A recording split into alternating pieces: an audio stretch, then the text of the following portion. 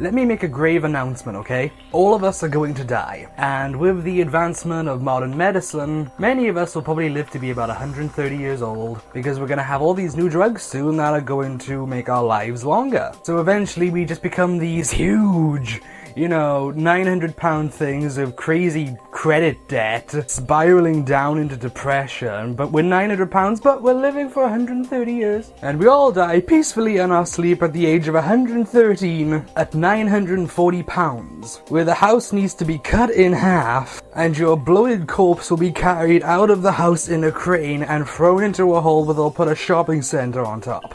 And personally, I think that's a pretty stupid way to go. Mommy, what happened to Auntie Susie? Well, she lived to be 145, and then she was the size of New York, so they just, you know, threw in a hole. Uh, that's kind of boring and depressing. I know, son, let's never speak of it again. Okay. But every once in a while, someone dies with such charisma, with such poignancy, that it's a story you tell over and over again. Something like, um, getting eaten by a crocodile.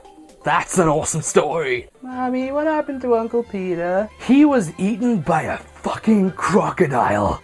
That is so awesome! You're damn right it's awesome. And with that story, you will get free dinner in school all the way up to your first year of college. Yeah, aren't you the guy whose uncle crocodile, right? Yeah. God damn! Here's my sandwich. So I have a task for all my subscribers, all 1000 plus of you. Lots of you are young, you're smart, you're on the move, and you can travel. Don't do it for me.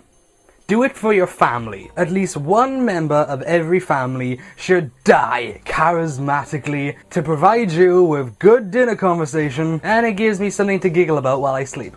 And also, especially if you're a hippie, you love the planet, don't you? You love this planet, you love being on it, you love all the stuff that's on this planet, right? You're eco aware, you know all this stuff is happening now, the earth is heating up. Al Gore was right, the seas are warming, it's why it's raining in places where it should be snowing and vice versa. And that's our earth, and that's what man has done to the earth. A couple of years ago, the earth was awesome! There's all these animals running around and stuff like that. You know, Mother Nature, I eat you, you eat me, you stop breeding, we die. Darwin's gonna come along and straighten the whole thing out. Hopefully before the crazy intelligent design people start putting the Bible in our science class. What? And then man came along and he invented cement, the engine, war, suicide, drug addiction, death, child molestation, and now we live on this evil planet denuded of lumber. All the animals are dying by the day. The rainforest is pretty much dissolving by the second. Everything else is dying because Man is here. But every once in a while, Mother Nature will come back armed and ready and ready to take nature back from the evil human invaders. And that's where we get exotic, predatory. Death.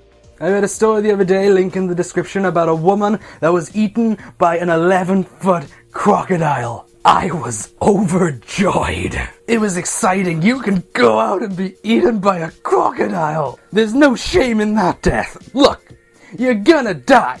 We know that. Wouldn't it be worth it to shave 7 to 27 years off your life to go out like that? Do you really want to sit around and watch all those reruns of Everybody Loves Raymond? All those decades, go to work, take shit from the boss, watch your husband's balls droop down into his socks? Or do you want to go out as a sexy young thing that's gonna get thrashed around by an alligator who's gonna string your intestines in the trees like Christmas decorations? Come on, you know you want it. So yeah, the woman in the article dies, and I wasn't like, hooray! But I was like, that's pretty fucking cool.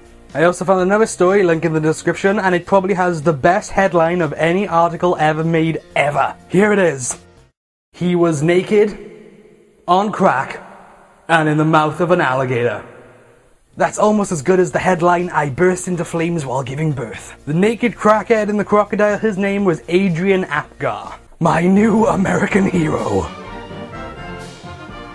And I'm Welsh, for fuck's sake. Adrian Apgar got naked, smoked some crack, went on a crazy streak, woke up in the mouth of an alligator. And one of his neighbor heard him screaming, you know, Oh god, I'm being eaten by an alligator. His neighbor just leaned over the fence and just went, Adrian, you crackhead, what are you doing? I'm fucking being eaten by an alligator! Hold on. 999. Yeah, um, My friend, he's on crack, he's naked, and he's in the mouth of a crocodile. No, I'm not on crack, he's on crack. Yeah, just a minute. How big is the alligator? Fucking big! It's a big one. Yeah? Just a minute. The lady says you need to punch the alligator on the nose, it'll go away. It's too big to be on the nose! Yeah, he says it's too big. Anyway, do you think you could bring someone over to help? Yeah? Um, I don't know his last name. That phone conversation went on for eight minutes. Two minutes later, the ambulance and the police arrive. They manage to get the crocodile off him, good old tug of war thing. Now, obviously, the crocodile's still eating him while they're ripping him in half. And eventually, the crocodile just went, screw this, nom nom nom nom nom. So they managed to save him, and all I could think was, good try, man. Good try. So the question I have for all my subscribers today, you can even leave it in a video response if you want to. If you could die in a creative and imaginative way, what would you do? Absolutely anything goes. Personally, I want to die playing an awesome guitar solo on the edge of a cliff and falling into a vat of Hershey syrup and drowning. Why not? It's a good way to go. I hope you guys come up with some cool ones as well. My name's AstraVex, and I am the fucking man.